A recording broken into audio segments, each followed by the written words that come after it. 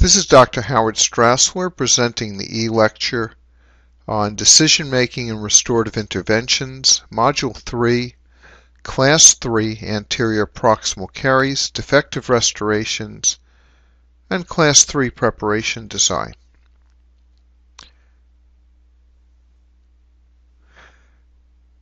When we look back upon what we've already learned about uh, all the different classifications of carious lesions and restorations, that a review of the class 3 is it's a smooth surface carious lesion on the proximal surfaces of anterior teeth. The progression of caries on the smooth surface is very broad. It's sitting below the contact area. The bacteria are attacking the enamel, penetrating the enamel, forming a triangle, a cone, where the tip of the cone reaches the DEJ and then spreads along the DEJ, uh, and then the caries uh, follows the dentinal tubules towards the pulp. Uh, looking at a line drawing view, you can see uh, how the classical view of class 3 caries uh, exists. Clinically, it has many different views depending upon uh, how long the bacteria have been sitting on the tooth, the duration, the longevity uh, of, uh, of the carious lesion itself. As we've talked about before, the carious lesion continuum is an equilibrium between remineralization and demineralization of the tooth. And that really the intervention to restore occurs when we see a cavitation on the surface and that the caries has penetrated the DEJ. Up to that point, enamel caries alone, without cavitation, can be remineralized. So let's talk about restorative interventions. When are we going to have an intervention to restore uh, a given tooth? Well, the primary reason would be a cavitation, the inability to remineralize, that the surface of the enamel has been damaged, the surface of the dentin has been damaged where the caries extends past the DEJ, uh, where we see the presence of a defective restoration either due to a marginal gap, due to fracture of the restoration, or fracture of the tooth, an anatomically incorrect proximal contact leading to periodontal problems, for a composite, unaesthetic poor color match. Marginal staining can lead to a restorative intervention for restoration replacement or restoration marginal polishing.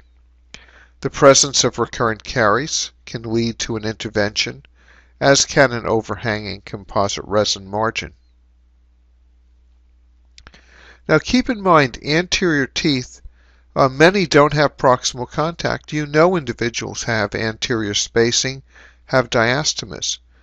Proximal contact is important for the class 2 restoration due to the forces of occlusion being along the long axis of the tooth. Uh, and during mastic mastication of food, food can be packed between the teeth if the anatomic location and contact is incorrect uh, or not present. This can lead to periodontal problems to include bone loss and periodontitis. So we're making a, a restorative intervention. That anatomic incorrect proximal contact, and as I said, uh, anterior teeth many times do not have proximal contact. In fact, one study demonstrated that anterior teeth uh, only have proximal contact uh, approximately 63% of the time. 37% of the time anterior teeth are not in contact at all. We can see space between the teeth. When teeth have proximal contact, proximal contact should be restored. We're restoring proximal contact for aesthetic reasons. Patients who are dissatisfied with spacing, uh, with diastemas, we can restore proximal contact uh, with anatomically correct contours. This is elective by the patient. In fact, uh, in many cases, the first recommendation for patients unhappy with spacing, uh, if the spacing is large enough, is to have orthodontic treatment and then retaining the teeth once they're moved in the new uh, aligned position. Let's take a look at the clinical appearance of class 3 caries. On the left-hand side, we can see a radiographic view with a periapical, a PA, of the maxillary lateral incisor number 10, and that we can see a slight shadowing and a slight difference in the appearance uh, at the enamel and to the DEJ. Clinically, by shining a bright light through the tooth, we can see the shadowing that demonstrates this interproximal carious lesion from both a lingual view on the top right hand side and a facial view on the bottom right hand side. And we're using a bright light. We can use a dental curing light in the clinic, running it not at full power but at 3 or 4 on its power guide. Or we can try using a high-speed handpiece, uh, an electric handpiece with a fiber optic tip and we can control the amount of light uh, through the uh, console. And the shadowing of the tooth, many times, as we can see on this left-hand side, uh, demonstrates the caries is past the DEJ. Radiographically, when we look at the uh, tooth number 10, we can barely notice any sense of carious lesion. But when we look at number 11 on the mesial surface, we can see the caries is readily apparent. And in fact, if we compare the radiographic view to the clinical view, that we need both uh, views in order to help make our definitive diagnosis. That the radiographic uh, appearance of class 3 caries can be very subtle and not as visually evident, even with transillumination. And so we're confirming caries both radiographically and clinically. Uh, sometimes we see a defective co composite restoration. In this case, there's a gap between the composite and the cavosurface margin, a defective margin, and we're going to replace that composite. We're going to remove the entire composite restoration. In fact, you can see on the lower right hand side that upon removal of the composite, uh, we're in fact extending the cavity preparation outline.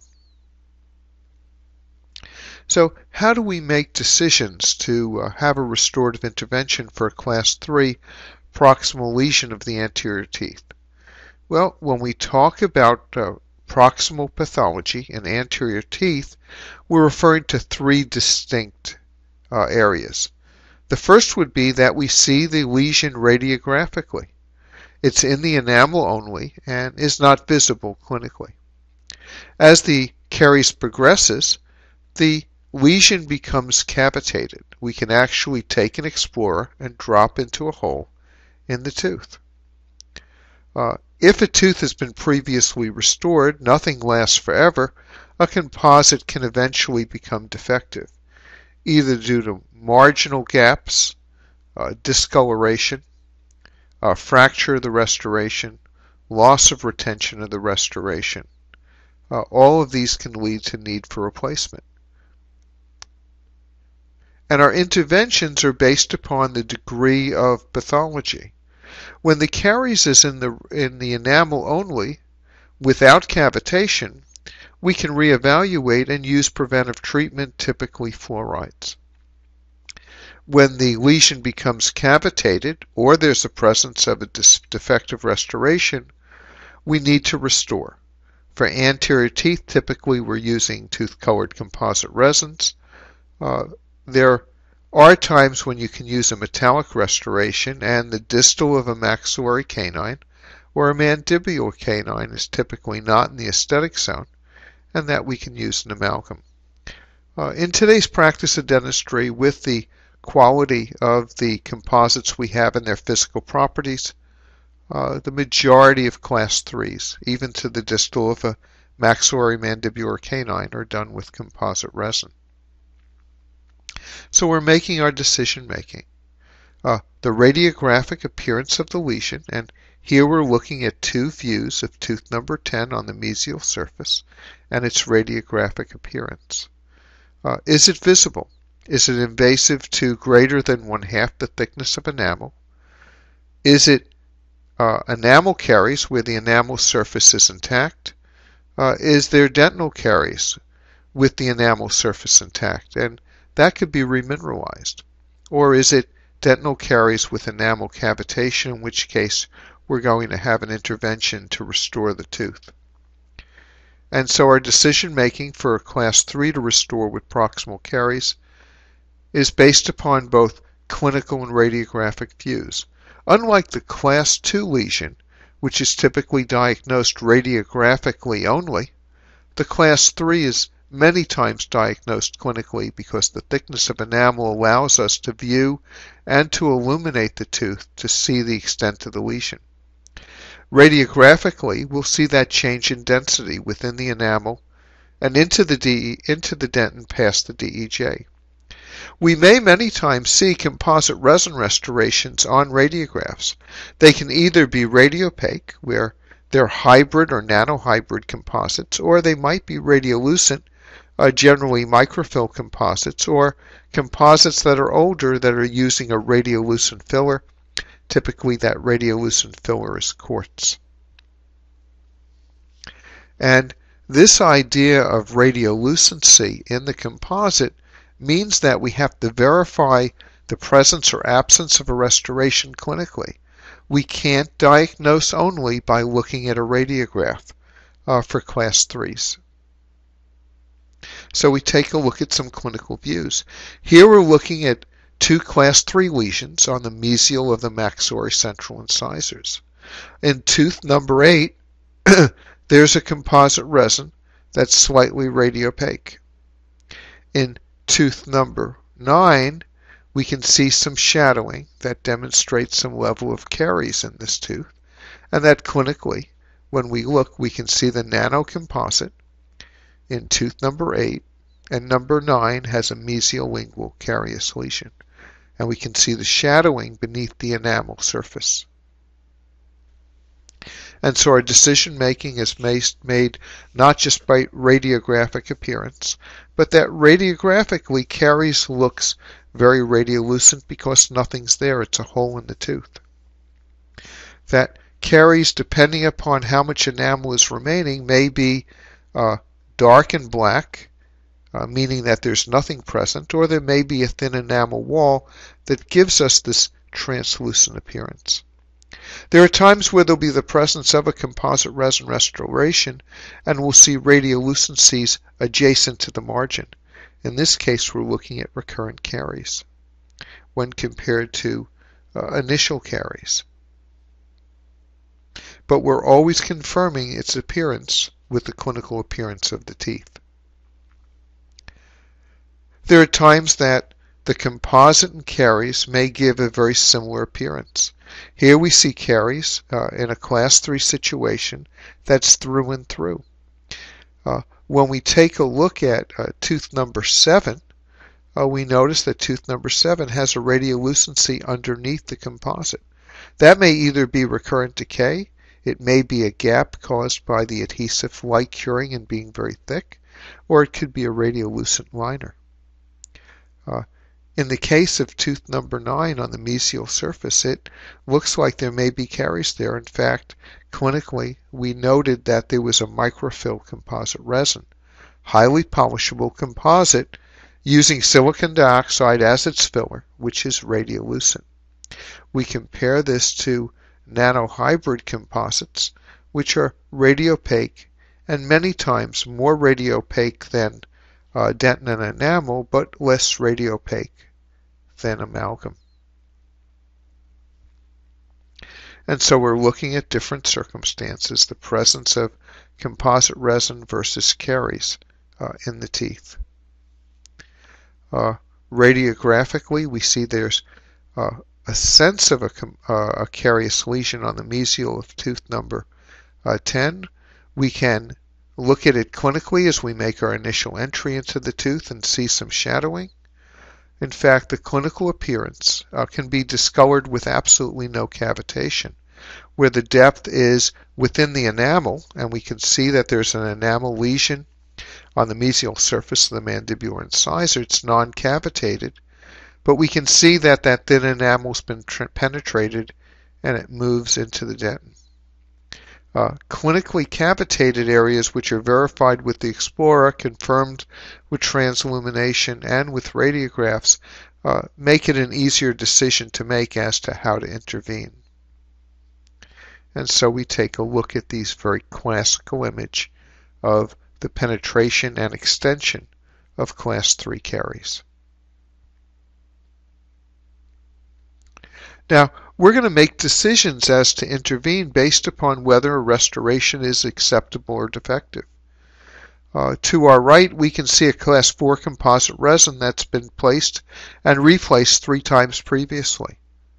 Uh, when we take a look at this fractured composite, we can see that the occlusion was contributing to the composite fracture and needed to be taken into account. That typically when we're replacing class 3s, we're replacing them due to the fact that they may be under-contoured. They may be worn uh, and need to be replaced. We look for marginal staining and ditching as reasons for replacement or fractures within the restoration as reasons for replacement.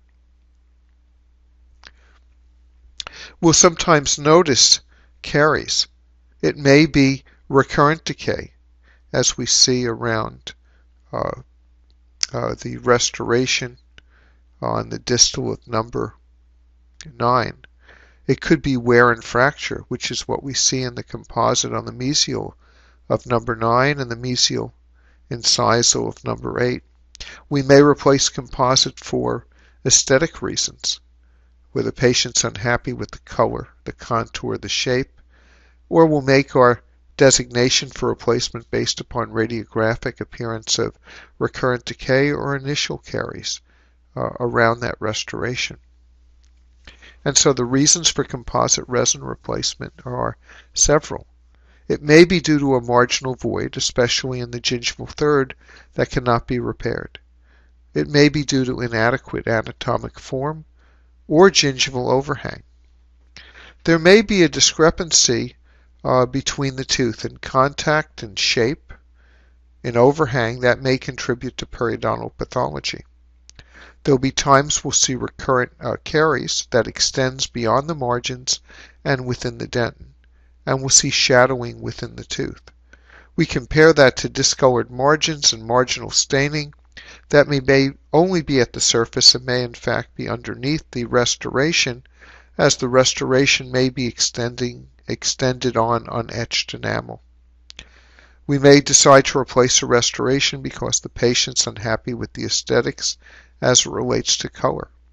This discolored restoration can be replaced in whole, or if the restoration is sound, we can resurface that restoration with composite and have a chemical adhesion between the two resin restorations. Sometimes we see fracture of the tooth fracture of the composite itself. And then wear we, and the loss of occlusal function, uh, protective function in excursions would be a reason why we might replace a composite restoration. So here we're looking at some changes and reasons for replacement. Uh, in this case, we can see in tooth number 10 on the mesial surface, we have a discolored composite. We see a discolored composite also on the mesiofacial of tooth number 11. We might see recurrent caries in a marginal area as we see on tooth number uh, tooth number 9. Now keep in mind for this class 4 that aesthetically uh, the patient may notice that number 9 is wider than number 8. If we were going to restore number 9 to be a mirror image of number 8, we need to take out this composite, measure the distance from the distal of number 8 to the distal of number 9, divide it by 2, and then create a width for number 9 that follows that formula of one half the distance between the two distal surfaces. And then we'd add composite on the mesiofacial and mesiolingual of tooth number 8 so that we have two teeth that have proportional widths. Our class 3 preparation design can either be with a facial or a lingual approach. And when we go over restorations and preparations for class 3s, uh, you'll see examples of uh, different approaches in order to restore these teeth. Our instrumentation is typically done either with a 330 burr or with a 35 inverted cone burr. The 35 inverted cone burr gives us a nice flat, smooth facial wall uh, when we're using a lingual approach. Uh, it's not as long as the 330, which means if we're near the gingival interproximal papilla, that we're not going to be worried about nicking that papilla or nicking the dental dam. The preparation design, uh, whenever possible, is to use a lingual approach to maintain facial aesthetics, facial enamel for aesthetics. The outline is going to be determined by the extent it carries uh, and the removal of any existing defective restoration. But typically, it's a lingual approach to maintain the aesthetic facial wall of enamel. That our preparation designed for our margins in stress-bearing areas, we want no bevel at all. We want a right-hand angle margin. But in non-stress-bearing areas, as you can see from this facial approach, for a class 3 and a maxillary incisor, we can bevel the facial enamel to give us an aesthetic blend of composite, uh, as well as the chance to get better adhesion and less microleakage and less marginal staining. Uh, if our class 3 margin ends on the root surface and there's no enamel, we're going to treat the root surface with a right angle margin with no bevel. This is a consistent thing that we're going to do, whether it be a class 5, a class 3, uh, or a class 4 in terms of how we handle margins in non-stress bearing areas. Our preparation designed for a class 3 with amalgam is typically used on the distal surface of a canine, uh, where aesthetics is not critical. And you can see on the right hand side an example of a class 3 amalgam that was placed previously. That's on the distal holding the proximal contact and the enamel surface is intact on the facial. Our Cavo surface margin designs are at right angles at 90 degrees as they would be for an amalgam preparation on an occlusal or a class 5 amalgam uh, preparation. Amalgam is typically used uh, when we're using it in the anterior on the canine. So when it comes to making our decisions for class 3s, and here we're looking at a class 3 carious lesion on the distal of a maxillary right central incisor. Radiographically, it's through the enamel into the dentin. We can see from a clinical view that uh, the enamel uh, is demineralized. And after our tooth preparation, our lingual margins are at right angles. Our facial margins are slightly beveled. Good diagnosis and treatment planning requires a complete evaluation using all the diagnostic tests necessary to make an adequate decision.